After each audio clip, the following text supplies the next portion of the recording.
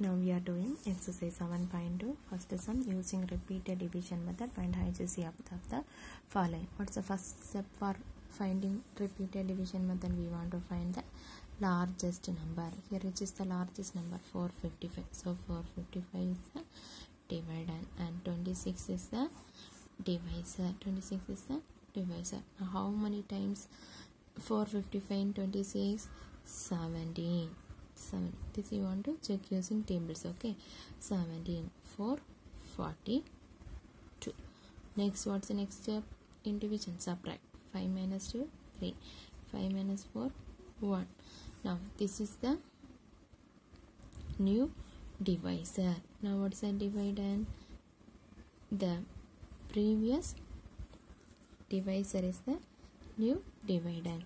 Now 26 is the new dividend now how many times 26 in 13 table 2 13 2 is 26 now we get the remainder 0 so we stop this procedure. Now which one is HCF 13 is a HCF did you understand? Yes. Now HCF is what? 13 now next we are doing the second sum now how will you do? Here which one is the biggest number? 392 this is the dividend now divisor is 256 now how many times 392 and 256 one time. 256 you want to write a quotient here okay? Now subtract 12 minus 6 6 here 8 minus 5 3 3 minus 2 1 now this became new divisor the previous divisor became new dividend now 256 how many times again? One time 1 36 now 6 minus 6 0 5 minus 3 2 1 2 minus 1 1 next this became new divisor. The previous divisor became new 1 36 how many times? One time.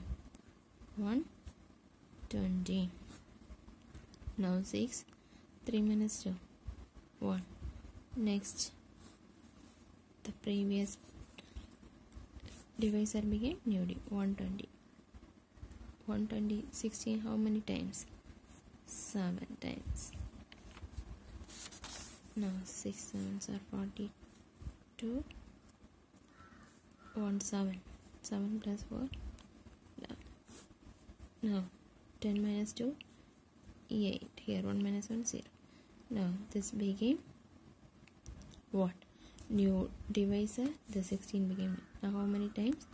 2 times. 8 is a 16 C. so which one is HCF the last divisor is a HCF HCF equal to 1 this is answer